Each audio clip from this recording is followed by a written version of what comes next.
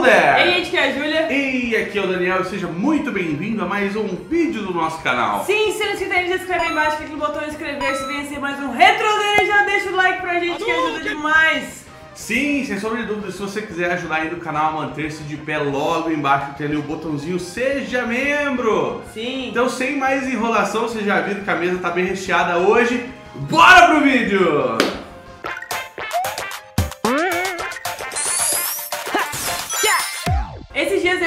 Aqui de boas conversando e aí eu peguei, pensei num tema de vídeo e falei assim, ô Dan, é, mano, sabe um vídeo muito legal que a gente poderia fazer? A gente já fez vídeo mostrando sua coleção, mostrando suas coisas e tal, mas uma coisa que a gente nunca parou pra ver foi pra ver quanto que vale a sua coleção. Caso aconteça alguma coisa no mundo, você explora a internet e as lives, o que que vai fazer? Você pode vender, você tá brincando. Mas assim, quanto que valeria a sua, a sua coleção, tá ligado? E tá aqui um pequeno catálogo que eu fiz. Tem duas, dois jogos por fileira em, nos dois lados da página. Eu pesquisei o preço de todos. E diferente do último vídeo que a gente fez mostrando os jogos mais caros da minha coleção, que a gente pegou os valores mais altos para chamar a atenção mesmo.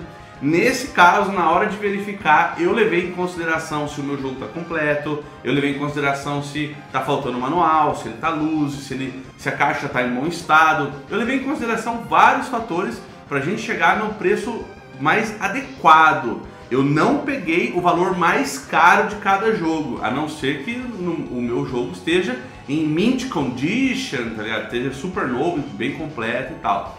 Então a gente fez uma lista e eu cataloguei todos pra gente ver o valor exato, mais aproximado possível de quanto vale a minha coleção. Daniel ficou bem ocupado esses últimos dois dias fazendo isso aí, ó, só. Deu trabalho, E, deu- né? e ele ficou animado, porque ele ficou curioso e ele falou que teve várias surpresas muito bacanas aqui. Ó, e, e são 120 jogos, 120 jogos entre luz e completo. E que que- e- o que, que a gente vai fazer? Vai só falar o valor? Ah, pô, deu tanto, pá. Pô, aí perde um É, pouco a graça. graça. A gente vai falar então um pouco das minhas surpresas de jogo que eu achei que era super barato e de repente, pá, dois mil reais. Mentira, não, tem, tem sim, mas assim. É Super E Mario. eu vou explicar um pouco, e eu vou explicar um pouco também de como que eu consegui tudo isso, pagando muito menos do que o, do que, o que tá aqui, tá ligado? Eu coleciono já, tem aí pelo menos uns 4 anos, que eu consegui comprar um Super Nintendo do meu amigo Bruno, ele tava desfazendo a coleção dele e ele vendeu por preços incríveis. Entre os, os jogos que comprei junto, já tem uns na coleção aqui que faz o valor aumentar demais e eu paguei super de graça. Por exemplo, o próprio Super Mario RPG, o Sunset Riders e o Demon's Crest estavam nesse pacote aí que eu devo ter pago, sei lá, 60, 80 reais por jogo no pacote completo ali, Super Nintendo e jogos. Então só aí a gente economizou pra caceta, porque um Demon's Crest desse, do jeitinho que tá o meu, é no mínimo 300 reais. Eu paguei 60.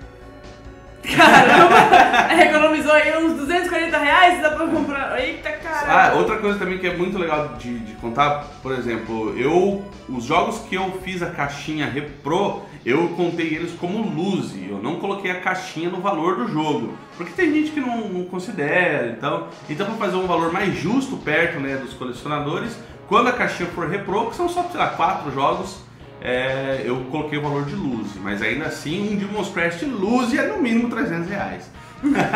Olha aí. Então, eu- e foi bem, e foi justo numa época que eu ganhava um dinheiro legal ainda com apresentação de mágica, eu ganhava um dinheiro legal ainda dando aula de inglês, eu dava aula particular de inglês antes de começar a fazer as lives. Então, com o dinheiro das minhas aulas, eu investi na minha coleção e foi numa época muito boa. Hoje em dia, tanto, tanto é que hoje em dia faz muito tempo que eu não compro um cartucho novo. O último que eu comprei foi o Chrono Trigger, que eu comprei com o salário da Streamcraft. Mas hum, fora isso, eu não compro cartucho faz muito tempo. Mas comprou fechando com chave de ouro, né? Mas isso aí daqui a é, pouco, né? Sim. Então, já so- solucionado aí a questão de como eu comprei, como que funcionou na época e tal. é, vamos então falar de algumas surpresas, cara, para depois a gente chegar no valor final. Já quero até perguntar para você que está aí assistindo, já viu eu mostrando alguns cartuchos em live ou nos próprios vídeos.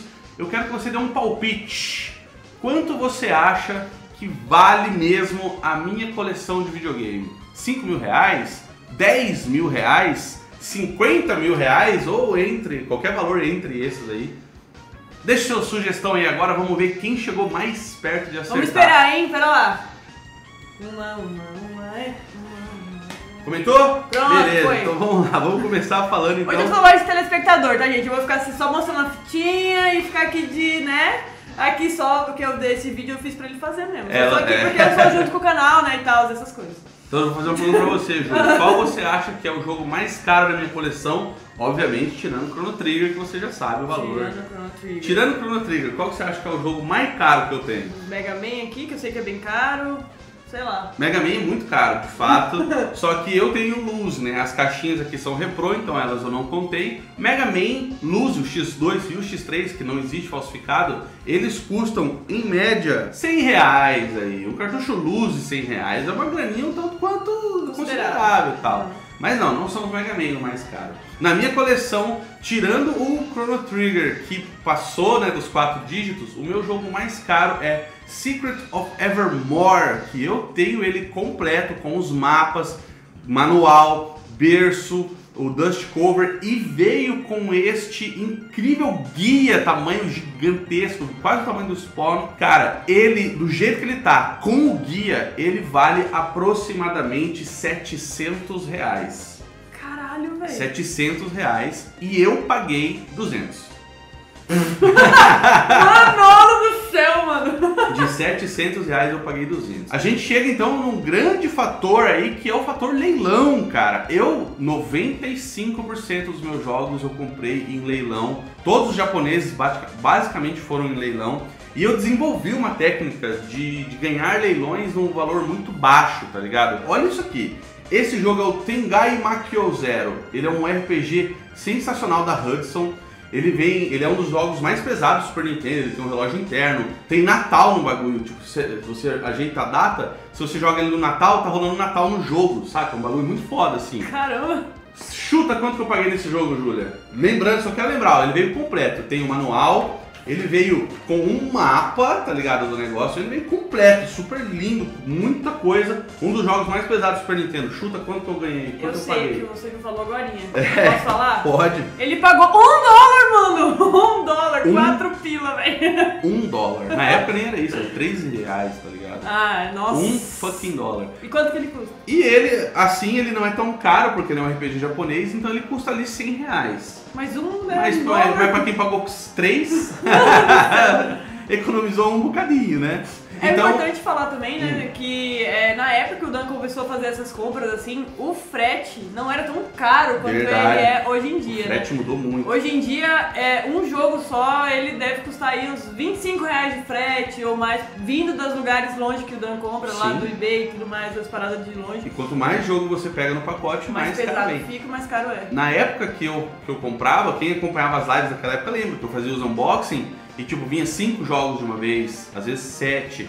Nessa época, um caixão assim, uma caixotona de 5, 7 jogos, dava 30 reais de frete. Hoje vai pra cento e pouco, tá ligado? O Chrono Trigger não é o único jogo da minha coleção que passa de 4 dígitos. Eu não paguei 4 dígitos nos outros jogos, Ah, tá. mas eu descobri que tem joguinho na minha coleção aqui Que vale. que vale até 2.500 reais, cara. A edição completa do joguinho das ninjinhas que a minha mãe joga custa 2.500 reais se você encontra ele na caixa. Eu tenho ele Luzi com manual, então ele, o meu Luzi com manual, vale pelo menos uns 900 mil reais. Não, não é, Porra, 900, dois não, não é 900 mil reais, é 900, Ou vírgula, mil. ou mil reais. 900 mil reais, caralho! A coleção do Dan vale 900 Um milhão de reais? Ô, Eita porra! Não, o jogo das ninjinhas é Mano muito do caro. céu, e é tipo assim, é, ok, né? E é, um, é um- é um jogo clone, né? Clone de... Clone de de Bomberman! Bomberman. Mano do céu! Eu quero fazer só mais um pequeno adendo aqui, que é sobre esse game. É o Gunman Proof. Esse jogo, como vocês podem ver, a caixinha está no modelo americano, mas ele nunca saiu nos Estados Unidos. Ele é um jogo que ficou só lá no Japão. Ele é um Zelda de Velho Oeste, muito, muito legal. É, só que e ele ficou muito caro porque teve pouquíssima tiragem.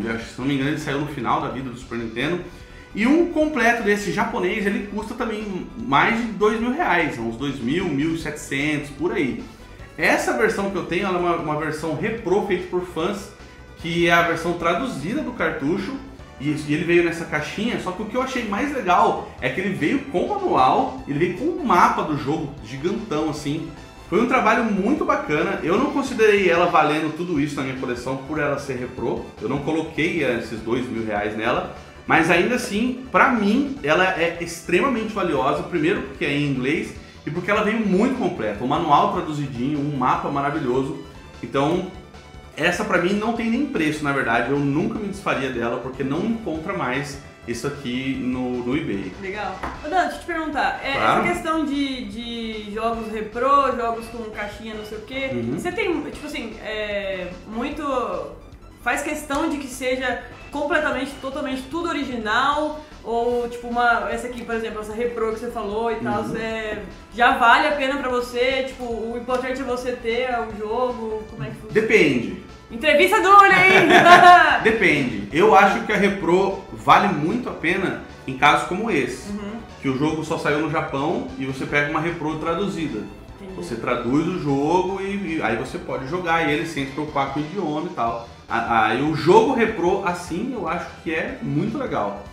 Agora, é, jogo, jogo e caixinha repro, a caixinha repro eu acho sensacional. O trabalho é incrível, eu adoro assim. Jogos que eu tenho luz e eu gostaria que ficasse mais bonitinho na prateleira. é, se ele for muito absurdamente caro, como é o caso de Mega Man X, eu prefiro fazer a repro ficar com a luz mesmo. Porque eu, eu não penso em revender, tá ligado? Entendi. Eu acho que a pessoa que liga muito pra isso é a pessoa que, que, que vê colecionismo como um negócio. Pra mim, colecionismo não é negócio, eu não vou vender essas coisas, eu quero eles pra mim. Entendi. Então eu não ligo, na verdade. Mas quando eu posso ter o original, eu prefiro ter o original, até porque muitas vezes vem ah, o manual. Eu gosto do manual, eu gosto de ter o manual. Então vamos falar um pouco, um pouco das surpresas, surpresas. agora. Cara, Essa tem alguns legal. jogos aqui que eu, que eu fiquei abismado quando eu descobri o valor. Por exemplo, Milandra. Bicho, isso aqui é um jogo ruim. Não, ele é muito bonito. Ele é muito bonito, mas a jogabilidade dele é cagadíssima. Ele é lerdo, ele é estranho, sei lá. Eu só eu comprei porque ele tem a câmera do Dan e eu quero ter todos. Experimentei, achei meio estranho e fui pesquisar o valor disso aqui, né, cara? Aí eu olhando, pá, não, não acho direito. Aí tinha um cara vendendo completo, uma única pessoa vendendo Milandra completo. Só conferir pra não falar merda. A 670 reais, cara. E isso aqui foi um dos que eu paguei, sei lá, 3 dólares, ganhando por leilão, saca? Então eu não paguei nem 50 reais e ele custa 700 quase. Isso aqui eu assustei, hein, mano. Quer falar É bom que é um jogo ruim, caso você precise assim de 600 reais rápido, você já isso aí, ó. Ah, ela vende rapidão de Não certo. vende, né, mano? Não vende. vende. Outro que eu paguei muito barato foi Chaos Seed. Ele é um action RPG muito legal, tem sistema de criar mapa, tem sistema, sistema de combos e tal. Eu paguei 200 reais nesse jogo, foi até caro, comprei no Mercado Livre esse, porque no eBay eu não achava. E ele custa uma nota preta, cara. Ele custa também 670 reais, o mesmo valor do Milandra. E eu, eu paguei 200, até paguei caro, mas é porque ele é muito bom. Esse é muito bom, cara. Esse vale a pena pra caramba. Tem tradução feita por fãs também. Muito legal, recomendadíssimo. Outro que me assustou muito foi Is 5. Toda a coletânea do Is eu acho sensacional. Os jogos do Super Nintendo são bons muito difíceis. E eu comprei os três juntos num, num pacote. Veio os- o 3, o 4 e o 5. E eu paguei, tipo, sei lá, 60 reais nos três. Fui pesquisar. O 3 vale ali uns cento e pouco, o 4 vale ali também uns cento e pouco, 200. E o 5 fui ver, de repente, é 600 reais, cara. Meu Deus, cara, como assim? Dudu? E o meu... 60 do- dos três. Nos três. E o meu é completinho, manual, berço, coisa linda, tá muito bacana. Outro bem carinho é esse aqui, que infelizmente eu não tenho manual desse. Esse é o Crystal Beans. Eu joguei em live esses dias com a menina Belão, muito legal. Ele lembra um pouco Gauntlet, é um jogo sensacional. Infelizmente o meu tá sem manual, cara. Olha que merda. Eu que adoro o manual, o meu veio sem. Ele sem o manual custa ali redondinho 600 reais. Se eu tivesse ele completo, ele ia pra mil. Olha aí, que o manual não faz a diferença, né, é mano? louco. É, mas é porque realmente eu faço muita questão. Eu gosto muito do manual, tá ligado? Então eu entendo por que, que ele valoriza tanto. Eu acho dia lindo. não tem, né? É, Também tem essa. então chegamos no grande momento, Júlia, de revelar, O valor revelar o valor total da minha coleção. do Chrono Trigger. O Chrono Trigger não Você não falou. O Chrono tá Trigger. curioso, né, pessoal? eu já sei, na verdade. Quase deu um tapa na cabeça dele, mas eu entendo. Chrono Trigger completo, dois pôsteres, um manual, berço, dust cover, que eu acho muito bacana. Na caixinha original, caixinha de acrílico em volta dele para manter protegido. Esse eu estava trabalhando, estava bem de vida na época que comprei-lo. Esse eu paguei 1.250 reais. Esse foi o único jogo assim que de fato eu paguei o valor de mercado atual. Os outros todos ou eu ganhei por leilão ou eu encontrei é, alguém desesperado para vender. É, mas o Chrono Trigger, esse eu comprei no Brasil mesmo, não importei. Mas, mas de fato, como a Júlia falou, eu fechei com chave de ouro, a gente fechou aí a coleção de uma maneira muito bacana. Eu tenho o meu cofrinho ali, que é o que eu junto dinheiro agora para comprar cartuchos, porque existem outras prioridades agora, né? A gente não tá mais com o contratinho da Steamcraft, não tem como fazer essas loucuras.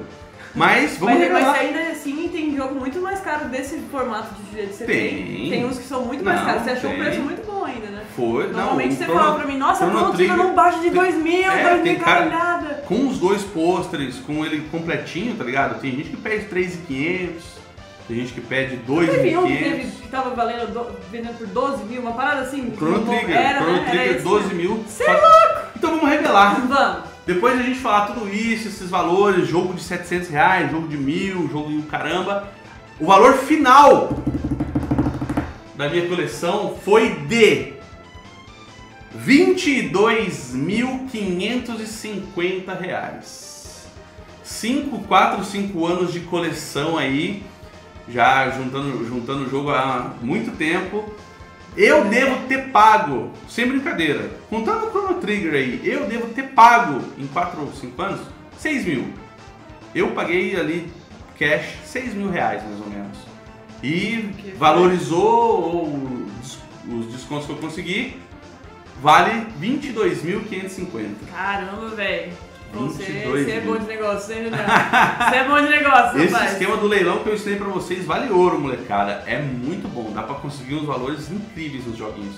Muito, muito bacana. A gente nem falou dos luz, né? Porque os luz são mais tranquilos e, tipo, ainda assim tem 250 reais aqui. o 450. 450 Rock sozinho. Rock, Luz, do jeitinho que ele tá aqui, custa 450 reais. Meu Deus. Eu paguei acho que 200 na Ainda época. foi caro. Foi mas carinho. ainda foi- Mas enfim, o Daniel ele é um mito. Se você quiser uma aula, o Daniel vai fazer um curso de coach de, De co- como comprar no eBay. Oh, esse é o que funciona ainda, Um não curso de dizer como não. comprar no eBay. Ah, com o dinheiro do curso eu vou comprar mais cartuchos. É isso, muito bom, é isso aí.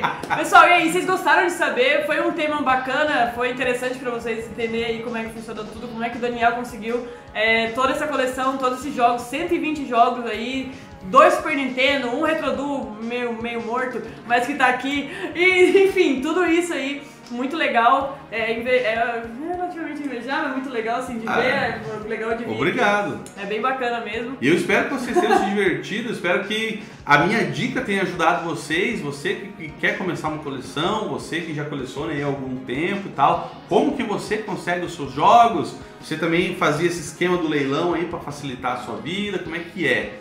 E fica aqui então o nosso grande abraço, você que assistiu aí até o final, Deixa um comentário pra gente aí pra saber é, que jogo você gosta mais, se você coleciona alguma coisa, o que, que você coleciona. Comente qualquer coisa, use os comentários, pessoal, é importante pra nós. Até se você coleciona moeda e figurinha da- do, do Copa do Brasil, e é Sim. isso aí, mano. E a gente se vê então nas nossas lives jogando essas maravilhas aqui, os links estão na descrição Sim. e no próximo vídeo também. Segue a gente lá nas redes sociais e tamo junto lá nas lives todo dia. Beijão. Um grande abraço, Até mais. see ya! Tchau!